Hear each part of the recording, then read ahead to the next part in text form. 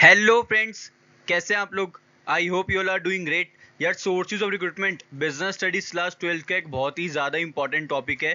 इस पे बेस्ड काफ़ी बार आप लोगों से क्वेश्चन पूछा जाता है आप लोगों के बोर्ड एग्जामिनेशन के अंदर। तो आज मैं आपको ईजिएस्ट तरीका बताता हूँ जिससे आप लोग इजीली सोर्सेज ऑफ़ रिक्रूटमेंट को याद कर लोगे। So my name is search Thapar I am a post graduated teacher and let start देखो बच्चों सोर्सेज ऑफ़ रिक्रूटमेंट बताने से पहले मैं आपको बताना चाहता हूँ कि जितने ज़्यादा आप लोग लास्ट ईयर पेपर्स करते हो ना, उतनी ज़्यादा आप लोग की एक्यूरेसी और एफिशिएंसी निकल के आती है किसी भी एग्ज़ाम के अंदर।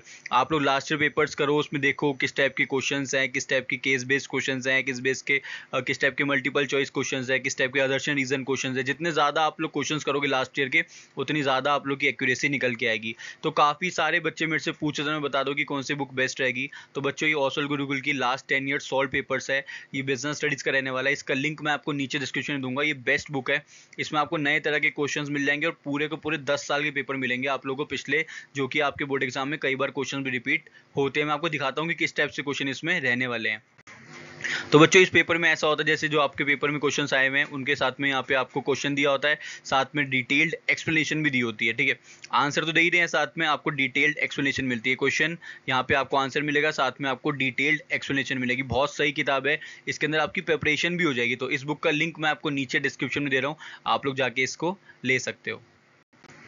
अब आते हैं बच्चों सोर्सेज ऑफ़ रिक्रूटमेंट की तरफ़। तो भाई सोर्स ऑफ़ रिक्रूटमेंट दो तरह के होते हैं। एक होता है इंटरनल सोर्स ऑफ़ रिक्रूटमेंट एक होता है एक्सटर्नल सोर्स ऑफ़ रिक्रूटमेंट ठीक है?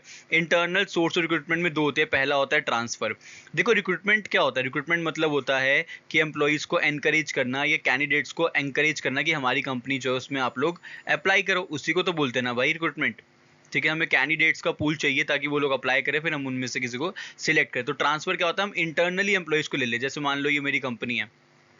ठीक है, मेरी कंपनी है, इसकी दो ब्रांचेज हैं। मेरी कंपनी की दो ब्रांचेज है, यहाँ पे बीस एम्प्लॉइज़ है, यहाँ पे दस एम्प्लॉइज़ है। हुआ क्या कि यहाँ पे पाँच एम्प्लॉइज़ कम है, यहाँ पे पाँच एम्प्लॉइज़ ज़्यादा है तो मैंने उठा के इनको यहाँ पे ट्रांसफ़र कर दिया। ठीक है ट्रांसफ़र करने से क्या होता है कि एक जगह जो एम्प्लॉय ज़्यादा थे, वो दूसरी जगह पे चले गए। और ये इंटरनल सोर्स रिक्रूटमेंट होता है, इसमें बाहर से कोई एम्प्लॉय को नहीं लेके आया हूँ। इंटरनली मैंने इनको ट्रांसफ़र कर दिया इसके अलावा प्रमोशन भी इंटरनल सोर्स रिक्रूटमेंट में आता है। इसमें क्या होता है, मान लो मेरी कंपनी है, इसके अंदर एक सीनियर मैनेजर है और दो जूनियर मैनेजर है, ठीक है? दो जूनियर मैनेजर और एक सीनियर मैनेजर है। ये सीनियर मैनेजर रिटायर हो रहा है। ठीक है, ये रिटायर हो रहा है और मुझे दो जूनियर मैनेजर्स की नीड नहीं है, मुझे सिर्फ़ एक ही जूनियर मैनेजर की नीड है। तो मैं इनमें से किसी एक को प्रमोट करके सीनियर मैनेजर बना दूँगा। ठीक है, इसको बोलते हैं बच्चों प्रमोशन इससे क्या बेनिफिट हुआ? मुझे बाहर से एम्प्लॉय नहीं लाना पड़ा। तो इंटरनल सोर्स रिक्रूटमेंट के बेनिफिट्स ये रहते हैं कि इससे मेरी कॉस्ट सेविंग हो जाती है। ठीक है कॉस्ट सेविंग हो जाती है इससे मेरी। इससे मेरा टाइम सेव होता है। ये बेनिफिट है इससे। जो एम्प्लॉयज़ हैं, उसमें काफ़ी ज़्यादा मोटिवेशन रहता है। लेकिन इसके कुछ ड्रॉबैक्स भी है कि मुझे फ्रेश टैलेंट नहीं मिलेगा इसके अंदर। नए तरह के मेरे पास कैंडिडेट्स और एम्प्लॉयज़ नहीं आएँगे तो मेरे अंदर फ्रेश टैलेंट नहीं होगा। एम्प्लॉयज़ काफ़ी ज़्यादा लिथार्जिक बन जाएँगे कि मैं इंटरनली अगर उनको ही आगे प्रमोट करूँगा तो ज़्यादा ये अपना ना एफिशिएंसी को इम्प्रूव करेंगे नहीं। दूसरा होता है बच्चों external source of recruitment external source of recruitment नाम से पता लग रहा है कि ये लोग बाहर से अपने एम्प्लॉयज़ को हायर करेंगे। ठीक है, बाहर से एम्प्लॉयज़ को हायर करेंगे तो उसको बोलते हैं बच्चों एक्सटर्नल सोर्स ऑफ़ रिक्रूटमेंट इसमें सबसे पहले आता है रिक्रूटमेंट एट फैक्ट्री गेट इसको कई किताब के अंदर डायरेक्ट रिक्रूटमेंट भी बोलते हैं।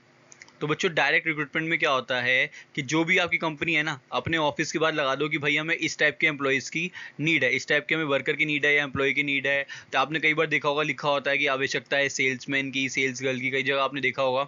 तो बच्चों, इसको बोलते हैं डायरेक्ट रिक्रूटमेंट या फिर रिक्रूटमेंट एक्ट फैक्ट्री गेट दूसरा तरीका होता है एक्सटर्नल सोर्स रिक्रूटमेंट का, वो होता है बच्चों कैजुअल कॉलर्स कैजुअल कॉलर्स कौन होते हैं? कई बार हमारी कंपनी में ना लोग आते हैं और अप्लाई कर देते हैं कि, सर, हमें ये जॉब के लिए अप्लाई करना है।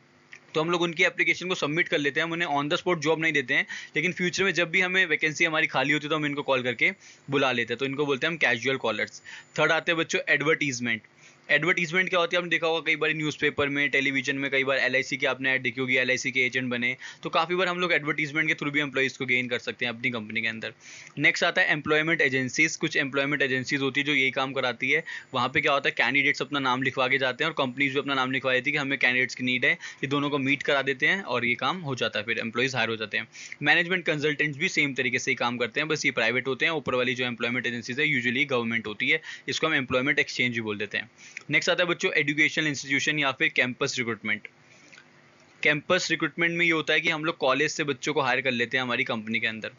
ये भी बहुत सही तरीका है, इसमें काफ़ी ज़्यादा पैसे बच जाते हैं। नेक्स्ट आता है बच्चों रिकमेंडेशन फ्रॉम एम्प्लॉइज़ हम लोग एम्प्लॉइज़ से रिकमेंडेशन ले लेते हैं, जो हमारे पुराने एम्प्लॉइज़ हैं, उनको बोलते हैं, भाई, बता दो तुम्हारा कोई भाई बंधु या दोस्त यार है तो उसको अप्लाई करा सकते हो। इसके अलावा नेक्स्ट आता है बच्चों लेबर कॉन्ट्रैक्टर्स आपने कई बार देखा जो ठेकेदार होते हैं, जो घर बनाते हैं, वो खुद से ही ले आते हैं सारे के सारी लेबर को तो उनको हम लेबर कॉन्ट्रैक्टर्स बोलते हैं। इसके अलावा हम लोग टेलीकास्टिंग भी कर सकते हैं media casting web web designing online हम लोग इंटरनेट पर भी पुट कर सकते हैं कि हमें एम्प्लॉयज़ की नीड है तो इंटरनेट के थ्रू भी हम लोग अप्लाई करा सकते हैं। तो ये इंटरनल सोर्सेज हो गया और ये जो दूसरा मैंने आपको बताया कि एक्सटर्नल सोर्सेज हो गया। इसके भी कुछ बेनिफिट्स होते हैं कि आपको फ्रेश टैलेंट मिलता है वाइडर चॉइस होती है आपके पास ठीक है फ्रेश टैलेंट मिलेगा इसके अंदर आपको वाइडर चॉइस मिलेगी आपको इसके अंदर। और इसके कुछ ड्रॉबैक्स भी है कि काफ़ी ज़्यादा टाइम कंज्यूमिंग है, इसमें काफ़ी ज़्यादा कॉस्ट लगती है। जो पुराने एम्प्लॉयज़ है, वो डीमोटिवेटेड फील करते हैं कि हमें नहीं आगे ट्रांसफ़र या प्रमोट किया, दूसरे बंदे को हायर कर लिया। तो दोनों के ही अपने अपने मेरिट्स और डीमेरिट्स होते हैं। एक्सटर्नल सोर्सेज के अपने मेरिट्स और डीमेरिट्स और इंटरनल सोर्सेज के अपने मेरिट्स और डीमेरिट्स है। ये टॉपिक काफ़ी ज़्यादा इंपॉर्टेंट था, इसलिए मैंने आपको स्पेसिफिकली अलग से टॉपिक कराया है। इसके अलावा कोई भी दिक्कत अगर आप लोगों को लग रही है तो आप लोग मेरे से कमेंट करके पूछ सकते हो। तब तक के लिए all the very very best channel को सब्सक्राइब करना मत भूलिएगा और साथ में लगे बेल आइकन को प्रेस कर देना ताकि लेटेस्ट वीडियोस और अपडेट्स आप लोगों को सबसे पहले मिलते रहे। Thank you